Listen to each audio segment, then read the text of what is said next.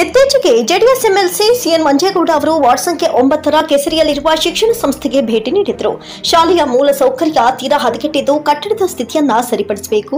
ಶಾಲೆಯು ಅಭಿವೃದ್ಧಿ ಹೊಂದಬೇಕಿರುವುದರಿಂದ ಶಿಕ್ಷಣ ಸಂಸ್ಥೆಗೆ ಭೇಟಿ ನೀಡುವಂತೆ ಜೆಡಿಎಸ್ ಮುಖಂಡ ಮತ್ತು ವಾರ್ಡ್ ಸಂಖ್ಯೆ ಒಂಬತ್ತರ ಸಾಮಾಜಿಕ ಕಾರ್ಯಕರ್ತ Ilyas alias Babu, MLC CN Manjegowda ಅವರಿಗೆ ಮನವಿ ಮಾಡಿದ್ರು. ಇಲಿಯಾಸ್ ಬಾಬು, ಎಂಎಲ್ಸಿ ಮಂಜೇಗೌಡ ಅವರ ಒಂದು ಮನವಿ ಮೇರೆಗೆ ಭೇಟಿ ನೀಡಿ ಶಾಲಾ ಕಟ್ಟಡದ ಸ್ಥಿತಿಗತಿಯನ್ನು ಪರಿಶೀಲಿಸಿ, ತಮ್ಮ ಸ್ವಂತ ಎಂಎಲ್ಸಿ ಅನುದಾನದಿಂದ ಶೀಘ್ರದಲ್ಲಿಯೇ ಎರಡು ಲಕ್ಷ ರೂಪಾಯಿ ನೀಡುವುದಾಗಿ ತಿಳಿಸಿದ್ದು, ತದನಂತರ ಐದು ಲಕ್ಷ ರೂಪಾಯಿ ನೀಡುವುದಾಗಿ ಭರವಸೆ ನೀಡಿದ್ರು. ಎಂಎಲ್ಸಿ ಮಂಜೇಗೌಡ ಅವರು ಎರಡು ಲಕ್ಷ ರೂಪಾಯಿ ಅನುದಾನ ನೀಡುವುದಾಗಿ ಭರವಸೆ ನೀಡಿದ್ರಿಂದ ಇಂದು ಇಲಿಯಾಸ್ ಬಾಬು ಅವರು ಶಾಲೆಗೆ ಭೇಟಿ ನೀಡಿ ಶಾಲೆಯ ಪ್ರಾಂಶುಪಾಲರೊಂದಿಗೆ ಅಧಿಕೃತ ಪತ್ರ ನೀಡಿ ಅಲ್ಲಿ ಎಂಎಲ್ಸಿ ಅನುದಾನದ ಮೂಲಕ ಹಣ ಪಡೆಯಬಹುದು. ಯಾವುದೇ ಹೊಚ್ಚ ಹೊಸ ಲೇಟೆಸ್ಟ್ ಇಂಟ್ರೆಸ್ಟಿಂಗ್ ಅಪ್ಡೇಟ್ಸ್ಗಳಿಗಾಗಿ ನೀವು ತಕ್ಷಣವೇ ನಮ್ಮ ಮೈಸೂರು ನ್ಯೂಸ್ ಟ್ವೆಂಟಿ ಒನ್ ಚಾನಲ್ಗೆ ಸಬ್ಸ್ಕ್ರೈಬ್ ಮಾಡಿ ಹಾಗೂ ನಮ್ಮ ಚಾನೆಲ್ನ ಫಾಲೋ ಮಾಡಿ.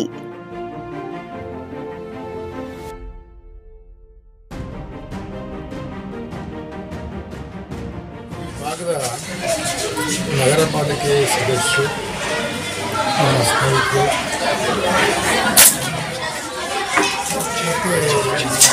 ಭಾಗದ ಹಿತರಕ್ಷಣೆ ಭಾಳ ಚಿಂತನೆ ಮಾಡಿ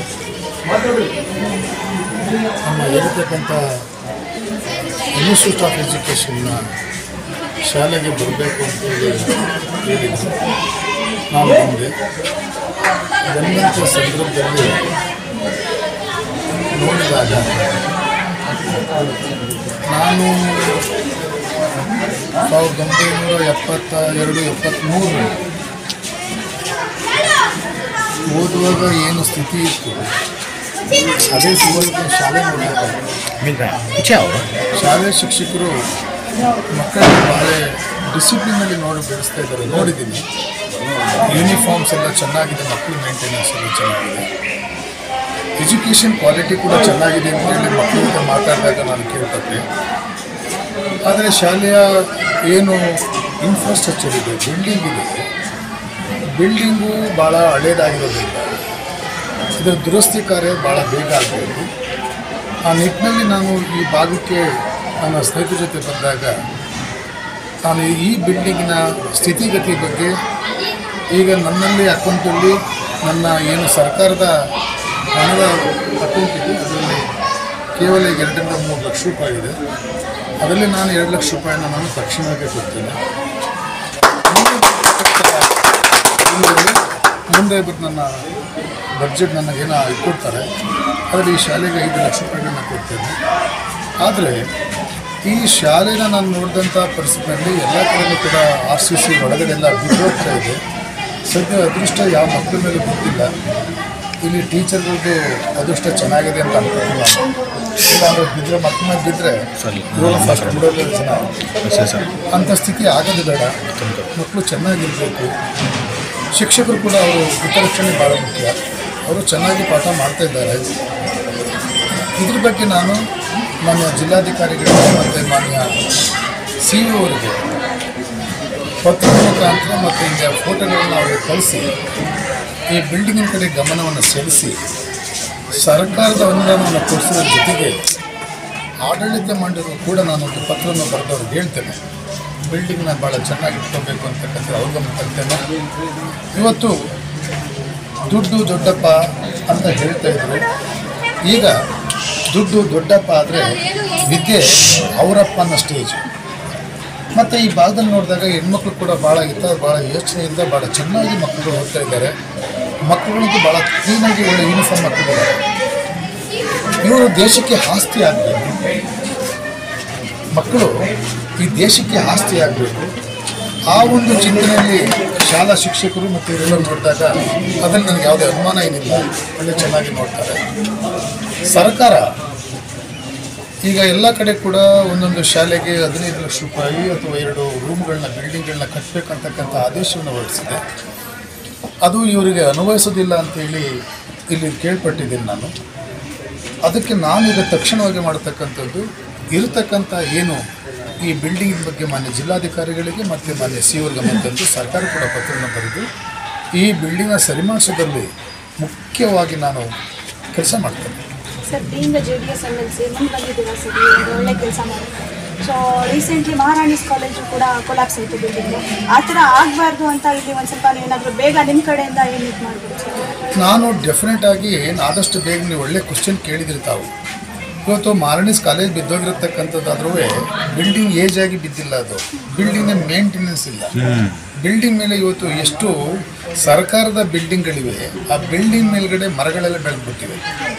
ಮರ, ಗಿಡಗಳು ಬೆಳೆದು ಶೀತ ಶಿಥಿಲವಾಗಿ ವಸ್ತಿ ಬಂದು ಬಿಲ್ಡಿಂಗ್ ಇವತ್ತು ಬಿದ್ದೋಗ್ತಾರೆ ಸರ್ಕಾರ ಇವತ್ತು ಮಾರಾಣಿಸ್ ಕಾಲೇಜ್ ಬಿಲ್ಡಿಂಗ್ ಬಿದ್ದೋಗಿರ್ತಕ್ಕಂಥದ್ದು ಉದಾಹರಣೆಯಾಗಿ ತಗೊಂಡು ಸರ್ಕಾರದ ಶಾಲಾ ಕಟ್ಟಡಗಳು ಸರ್ಕಾರಿ ಕಟ್ಟಡಗಳು ಮೇಲ್ಗಿಡ್ತಕ್ಕಂಥ ಚಾವಣಿಯನ್ನು ಭಾಳ ಆದಷ್ಟು ಬೇಗನೆ ಅವೆಲ್ಲ ಸ್ವಚ್ಛಗೊಳಿಸಬೇಕು.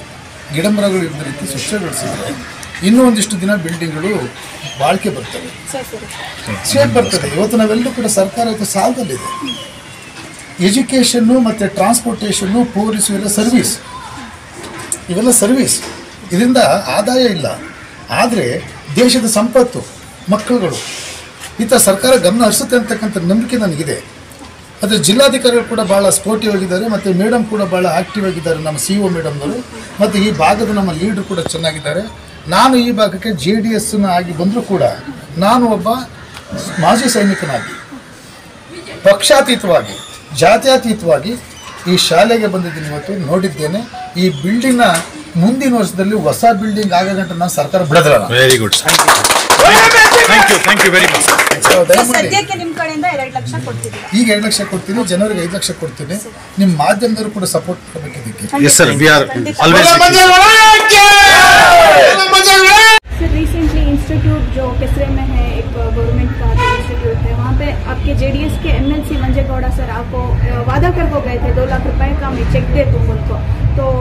तीन दिन के बाद आप एक लेटर ले लेकर आपको जो सबमिट करते हैं उसके बारे में।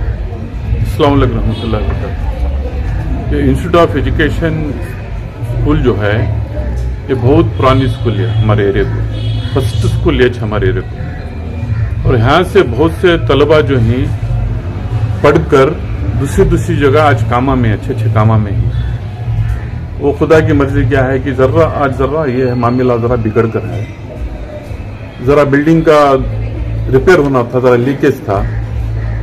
उस वजह से हम ना हमारे प्रिंसिपल साहब, हमारे पाशा भी पे हमारे सर हम ना मुलाकात कर कर हमारे जमीर भी के जिम्मे एक बात रखे थे। जरा बिल्डिंग को हम ना एक, तुम्हारे एमएलए ग्रांट से हम ना कहते थे सैंक्शन करा दूर पर मैं जुमेरात को तालुक ऑफ़िस को जाना पड़ा, हमारे मंजेगौड़ा साहब के ऑफ़िस को। मैं साथ बैठे बैठे ಅಣ್ಣ, ಒಂದು ಎರಡು ದಿವಸ ಕೆಲಸ ಇತ್ತು ಹೋಗರು ಬಲ್ಯ ಅಂತ ಏನು ಬಾಬು, ಅವರೇ ನನ್ನ ಸ್ವಲ್ಪ ಒಂದು ಇನ್ಸ್ಟಾಪ್ ಎಜುಕೇಶನ್ ಶಾಲೆ ಇತ್ತಲ್ಲ, ಅಲ್ಲಿ ಹೋಗ್ಬೇಕು. ನಡಿ ಹೋಗೋಣ ಬಲ್ಕು ನಿಖಲ್ ಕರ ಮೇಲೆ ಸಾತ್ಮೆ. ಆತೆ ಆತೆ ರಸ್ತೆ ಮೆಚ್ಚಿ, ಏನು ಬಾಬು ಅವರೇ, ಏನ್ ಸಮಾಚಾರ ಸ್ಕೂಲ್ ಕರ್ಕೊಂಡು ಹೋಗ್ತಾರ ನೀವು ಅಂತ ಕೇಳಿದ್ರು ಇಲ್ಲ ಅಣ್ಣ, ಸ್ವಲ್ಪ ಸ್ಕೂಲ್ ಸ್ವಲ್ಪ ಇದೆಲ್ಲ ಲೀಕೇಜ್ ಆಗ್ಬಿಡುತ್ತೆ, ಸ್ವಲ್ಪ ದುರಸ್ತಿ ಮಾಡ್ಬೇಕದು. ನಿಮ್ಮ ಅನುದಾನದಲ್ಲಿ ಸ್ವಲ್ಪ ಹಣ ಕೇಳ್ತಾರ ಅಂತ ಹೇಳ್ಕೊಳ್ಳೋರು ತಕ್ಷಣ ಅವರು, ಅವ್ರ ಗನ್ಮ್ಯಾನ್ನ ಡಿ ಸಿ ಆಫೀಸ್ನ ನೀವು ಕೇಳಿದ್ರೆ ಎಷ್ಟು ನನ್ನ ನನ್ನ ಅನುದಾನದಲ್ಲಿ ಎಷ್ಟು ಹಣ ಐತೆ ಅಂತ ಹೇಳ್ಬಿಟ್ಟು ಅವ್ರು ತಕ್ಷಣ ಕೇಳಿದ್ದಕ್ಕೆ ಮೂರು ಲಕ್ಷ ಆಯ್ತು ಅಂತ ಹೇಳೋರು ಅವರು, ನಡಿ ಬಾಬು, ನಾನು ಎರಡು ಲಕ್ಷ ರೂಪಾಯಿ ನಾನು ಕೊಡ್ತೀನಿ ಅಂತ ಹೇಳ್ಬಿಟ್ಟು ಇಲ್ಲಿ ಬಂದು ಪರಿಶೀಲನೆ ಮಾಡಿದ್ರು. ತಕ್ಷಣ ನನಗೆ ಏನು ಮಾಡಿದ್ರು, ಅವರು, ಬಾ ಬಾಬು, ನನ್ಗೆ ಆಫೀಸ್ ಬಂದು ನೀನು ಲೆಟರ್ ತಗೊಂಡೋಗಿ ಅಂತ ಹೇಳ್ಬಿಟ್ಟು ಅವತ್ತು ಮಾರನೇ ಸಲ ಲೆಟ್ರ್ ಕೊಟ್ಟರು ಸೊ ಇವತ್ತು ನಾನು ಎರಡು ಲಕ್ಷ ಸಾಹೇಬ್ರು ಮಂಜೇಗೌಡರು ಸಾಹೇಬ್ರು ಕೊಟ್ಟಿದ್ದ ಲೆಟ್ರನ್ನ ತೊಗೊಂಡು ಕೊಟ್ಟಿದ್ದೀನಿ. ಈಗ ಇವ್ರು ಫಾರ್ವರ್ಡ್ ಮಾಡ್ಕೊಂಡು ಡಿ ಸಿ ಆಫೀಸ್ ಫಾರ್ವರ್ಡ್ ಮಾಡಿಕೊಂಡು ಅದೇ ಹಣ ಬಿಡುಗಡೆ ಮಾಡ್ಕೊಂಡು ಈ ದುರಸ್ತಿ ಕೆಲಸ ಪ್ರಾರಂಭ ಮಾಡಲಿ. ಮತ್ತು ಮಂಜೇಗೌಡರು ನಮ್ಮ ಶಾಸಕರು ತಿರ್ಗಾ ಒಂದು ಫೆಬ್ ಜನವರಿ ಫೆಬ್ರವರಿಗೆ ಐದು ಲಕ್ಷ ಕೊಡ್ತೀನಿ ಅಂತ ಹೇಳಿದ್ದಾರೆ. ಅದು ಕೂಡ ನಾನು ಕೊಡೋಕ್ಕೆ ನಾನು ವ್ಯವಸ್ಥೆ ಮಾಡಿಕೊಡ್ತೀನಿ ಅಂತೇಳಿ ಈ ಸಂದರ್ಭ ಹೇಳಕ್ಕೆ ಇಷ್ಟಪಡ್ತೀನಿ. ಜೊತೆಗೆ ನಾನು ತಕ್ಷಣ ನಮ್ಮ ಮಾತಿಕ್ ಅವರು ಶಾಸಕರು ಗೌರವ ಕೊಟ್ಟು ನಮ್ಮ ಶಾಲೆಗೆ ನಮ್ಮ ಶಾಲೆಗೆ ಇಲ್ಲಿ ಬಂದು ಏನು ಹಣ ಬಿಡುಗಡೆ ಮಾಡಿಕೊಟ್ಟಿದ್ದಾರೆ ಅದಕ್ಕೆ ನಾವು ಮನಸ್ಪೂರ್ವವಾಗಿ ನಾವು ಕೃತಜ್ಞತೆ ಇಷ್ಟಪಡ್ತೇನೆ ಸರ್ ಶಾಲೆಯ ಇನ್ಫ್ರಾಸ್ಟ್ರಕ್ಚರ್ ತುಂಬಾ ಕೆಟ್ಟೋಗಿದೆ ಸರ್. ತುಂಬಾನೇ ಪ್ರಾಬ್ಲಮ್ ಅನ್ಕೋತೀನಿ. ಯಾಕಂದ್ರೆ ಬಿಲ್ಡಿಂಗ್ ನೋಡಿದ್ರೆ ಸೊ ಮುಂದಿನ ದಿನಗಳಲ್ಲಿ ಇನ್ನೂ ಐದು ಲಕ್ಷ ಕೊಡ್ತೀರಾ ಅಂತ ಹೇಳಿದ್ದಾರೆ. ಸೊ ಅವರ ಸ್ವಂತ ಹಣದಲ್ಲಿ ಕೊಡ್ತಾರಾ ಅಥವಾ ಅನುದಾನದಲ್ಲಿ? ಅವರು ಅನುದಾನದಲ್ಲಿ ಕೊಡ್ತಾರೆ. ಜೊತೆಗೆ ನಾನು ಆ, ಶಿಕ್ಷಕರನ್ನ ಹೇಳಿದ್ದೀನಿ ನಾನು. ತಮ್ಮ ಇನ್ಸ್ಟಿಟ್ಯೂಷನ್ ಕಡೆಯಿಂದ ಒಂದು ಮನವಿ ಕೊಡಿ ಶಾಸಕರನ್ನ. ಅವರು ಡಿ ಸಿ ಲೆವೆಲ್ನಲ್ಲಿ ಸಿ ಎಂ ಲೆವೆಲ್ನಲ್ಲಿ ಏನಾಗುತ್ತೆ ಅವತ್ತು ಪ್ರಾಮಿಸ್ ಮಾಡ್ಬಿಟ್ಟು ಹೋಗಿದ್ದಾರೆ ಅವರು. ಮುಂದಿನ ದಿನಗಳು ಅನುಕೂಲ ಆಗುತ್ತೆ, ಸ್ವಲ್ಪ ಸಹಕರಿಸಬೇಕು ಸಹ- ಸಹಕರಿಸ್ಬೇಕು, ಮತ್ತೆ ತಕ್ಕಾಗಿ ಅವ್ರ ಜೊತೆ ನೀವು ತಕ್ಕಾಗಿ ನಡ್ಕೋಬೇಕಂತ ನಾನು ಹೇಳಿದ್ದೀನಿ. ಅದು ಕೂಡ ಅವರು ಒಂದು ಮನವಿನ ರೆಡಿ ಮಾಡ್ಕೊಂಡು ಬರ್ತೀವಿ ಅಂತ ಹೇಳಿದ್ರು ಶಾಸಕರ ಹತ್ರ. ನಾನು ಕರ್ಕೊಂಡು ಹೋಗ್ಬಿಟ್ಟು ಇವರಿಗೆ ಅಲ್ಲಿ ಕೂತ್ಕೊಂಡು ಮುಂದಿನ ದಿನಗಳಿಗೆ ಏನು ಅನುಕೂಲ ಆಗಬೇಕು ನಮ್ಮ ಶಾಲೆಗೆ? ಇಂಥ ಈ ಬಡ ಮಕ್ಕಳಿಗೆ ವಿದ್ಯಾರ್ಥಿ ವಿದ್ಯಾರ್ಥಿಗಳಿಗೆ ಏನು ಅನುಕೂಲ ಆಗಬೇಕು ಅಂತ ಮಾಡಕ್ಕೆ ನಾನು ಇಷ್ಟಪಡ್ತೀನಿ. ಸರ್ ಈ ಕೆಲಸ ಮಾಡಿಸೋಕ್ಕೆ ನೀವು ಫಾಲೋ ಅಪ್ ಮಾಡ್ತಾ ಇರ್ತೀರಾ ಸರ್? ಖಂಡಿತ. ಖಂಡಿತ ನನಗೆ ನನಗೆ ಗಮನಕ್ಕೆ ಇರಲಿಲ್ಲ ಇದು. ನನ್ನ ಗಮನಕ್ಕೆ ಇರ್ತಾ ಇದ್ರೆ ನಾವು ಅವತ್ತೇ ಕರೆದ್ಬಿಟ್ಟು ಮಾ ಮಾಡಿಸ್ತಿದ್ದೆ. ಹೌದು. ನಮ್ಮ ಜಮೀರ್ ಅವ್ರು ಹೇಳಿದ್ರು ನಾನು ತಕ್ಷಣ ಬಂದು ಕೇಳಿದ್ರೆ ನಮ್ಮ ಭಾಷಾ ಪಾಪ ಅವರು ಇಬ್ಬರು ನಮ್ಮ ಶಿಕ್ಷಕರು ನನಗೆ ಒಂದು ಮನವಿ ಮಾಡ್ಕೊಂಡಿರ್ತಾರೆ ರೈತ ಥರ ಐತೆ ಸಮಸ್ಯೆ ಐತೆ ಅಂತ ಹೇಳಿದ್ದಕ್ಕೆ ನಾನು ತಕ್ಷಣ ನಾನು ಹೇಳಿದ್ಕೊಳ್ಳಿ ಪಾಪ ಬಂದಿದ್ದಾರೆ ಅವರು. ನಾವು ಎಷ್ಟು ಅವ್ರಿಗೆ ನಾವು ಟ್ಯಾಂಕ್ಸ್ ಹೇಳಿದ್ರೆ ಕಡಿಮೆ. ಯಾಕಂದ್ರೆ ಇಂಥ ನಮ್ಮ ಶಾಸಕರು ನಮ್ಗೆ ಸಿಕ್ಕಿದ್ರು ನಮ್ಗೆ ನಮ್ಮ ಪುಣ್ಯ ಅದು. ಹೌದು. ಇಂಥ ನಮ್ಮ ಸಹಕಾರ ಮಾಡೋಂಥ ಶಾಸಕರು ಸಿಗ್ಬೇಕಾದ್ರೆ ನಮ್ಮ ಪುಣ್ಯ. ನಮ್ಮ ಪಕ್ಷಕ್ಕೆ ಪುಣ್ಯ ಅದು. Thank you sir